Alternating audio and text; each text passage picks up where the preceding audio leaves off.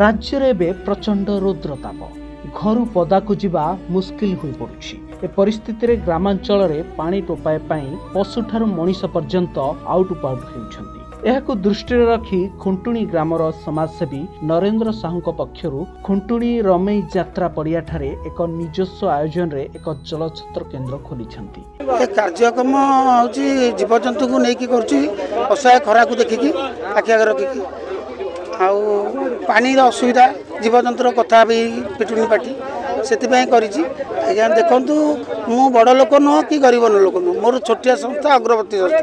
ଏ ଅଗରବତୀ ସଂସ୍ଥାରୁ ଖାଇ ପିଇକି ଭରଣ ପୋଷଣ କରି ଯାହା ଅଳ୍ପ ଅଳ୍ପ ସଞ୍ଚିକି ଏଥିରୁ ଠାକୁରଙ୍କ ପ୍ରେମୀ ତ ଠାକୁରଙ୍କ କାମ କରିବାକୁ ଆଗ୍ରହୀ ଆଜିଠାରୁ ପ୍ରତ୍ୟେକ ଦିନ ଏକ କୁଇଣ୍ଟାଲ ପଶୁ ଖାଦ୍ୟ ଯାହାକି ବାଇଗଣ ଭେଣ୍ଡି କୋବି ବିଲାତି ବାଇଗଣ ତରଭୁଜ କଖାରୁ ଆଦି ପନିପରିବା ସହିତ ପାଞ୍ଚଶହ ଲିଟର ପାଣି ଯାତ୍ରା ପଡ଼ିଆରେ ରଖାଯିବ ଗାଈ ଗୋରୁ ମାନଙ୍କର ପାଟି ଫିଟୁନି ଯାହା ହଉ ଆଜି ଆମର ଗୋଟେ ଭଲ ଆମ ପଞ୍ଚାୟତ ଖୁଣ୍ଟୁଣି ଗ୍ରାମ ପଞ୍ଚାୟତରେ ହେଇଛି ଉମ୍, ଗାଈ ଯେଉଁ ଏଇ ଯେଉଁ ସୁବିଧାଟା ହେଇଛି ଆର ବର୍ଷ ବି ହେଇଥିଲା ଏଇ ବର୍ଷ ବି କରାହେଇଛି ଏଠି ଆମର କୌଣସି କାହା ସୁବିଧାରେ କରାଯାଉନି ଆମେ ଆମ ନିଜ ସ୍ୱ ଇଚ୍ଛାରେ କରିଛୁ ତ ଆମକୁ ସମସ୍ତେ ସମସ୍ତଙ୍କୁ ଧନ୍ୟବାଦ ଦେବି ଯାହା ହଉ ଆଜି ଏଠି ଆସିକି ସମସ୍ତେ ପହଞ୍ଚିଛନ୍ତି ଏଥିରେ ଅନ୍ୟମାନଙ୍କ ମଧ୍ୟରେ ବିଭିନ୍ନ ମହିଳା ଗୋଷ୍ଠୀ ଓ ଗ୍ରାମର ଯୁବ ଗୋଷ୍ଠୀ ଯୋଗ ଦେଇଥିଲେ ଆଠଗଡ଼ରୁ ସର୍ବେଶ୍ୱର ପଣ୍ଡାଙ୍କ ରିପୋର୍ଟ ପ୍ରତିଦିନ ମୋବାଇଲ ଫୋନ୍ ଓ ସାଙ୍ଗସାଥୀ ଆପଣଙ୍କ ପିଲାଟିର ପାଠପଢ଼ା ଓ କ୍ୟାରିୟରକୁ ପ୍ରଭାବିତ କରୁଛି କି?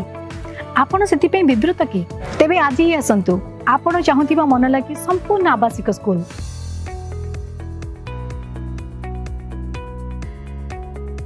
ଟିଏସ୍ସି ଗୁରୁକୁଲ ଗୋଠପାଟଣା ଭୁବନେଶ୍ୱର।